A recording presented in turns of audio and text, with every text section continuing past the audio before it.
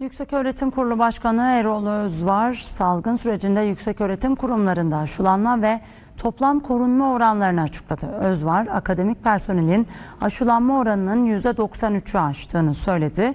YÖK Başkanı meclisteki bütçe görüşmelerinde konuştu. Toplam korunma sayısı öğrencilere oran olarak öğrencilerin oranları olarak bakıldığında yüzde 79.21'dir. Akademik personelde yüzde 93.27'dir. İdari personelde ise yüzde 90.70'tir.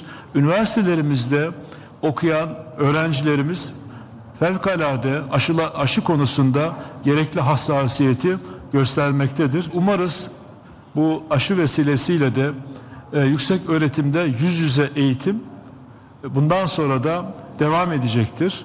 Dileğimiz eğitim öğretim e, sürecinin eskiden olduğu gibi yüzde devam etmesidir.